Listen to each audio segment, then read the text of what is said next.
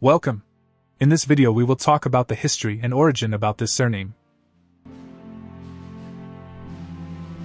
The surname Baudrier is of French origin and was first found in Touraine.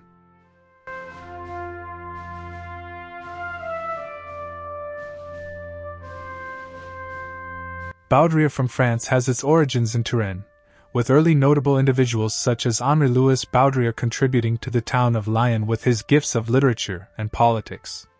The name is also prominent in Canada, with individuals such as Camille Boudrias making significant contributions. This surname may have several different spelling variations, such as the following.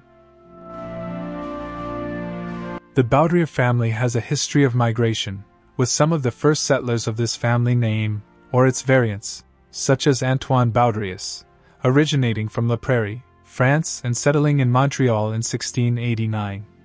Their descendants continue to strengthen the family heritage in Canada today. Additionally, Contemporary notables of the name Baudrier include French journalist Jacqueline Baudrier, who has received numerous honors and decorations for her contributions.